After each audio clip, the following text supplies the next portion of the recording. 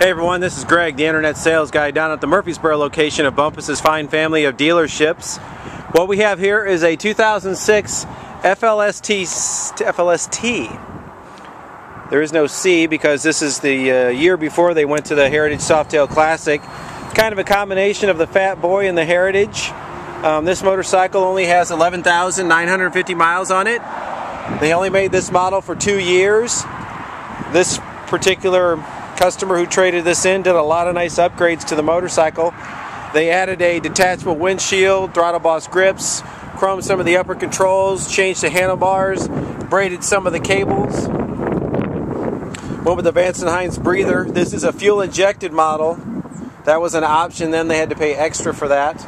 Went with the uh, engine guard, Vance and Hines long shots, changed the passenger footboards to footboards from pegs, oil temperature gauge, storage container, little extra storage room. Added the Fat Boy saddlebags that are detachable.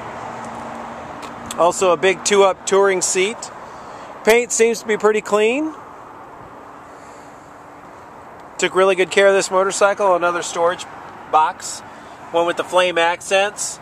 Just a reminder, we can ship a motorcycle anywhere in the continental United States. Request the information online and I'll get back to you. There is a little blemish here in the clear coat, but it did not seem to get into the paint. Added passing lamps to the motorcycle, was not standard. A lot of nice upgrades, spokes are really clean. They changed the skirt to the flame accent. Good looking motorcycle. If you have a question about this motorcycle or any motorcycle or inventory, request the information online and I'll get back to you, or you can call me here at the dealership. 615 849 8025. Ask for Greg in Internet Sales.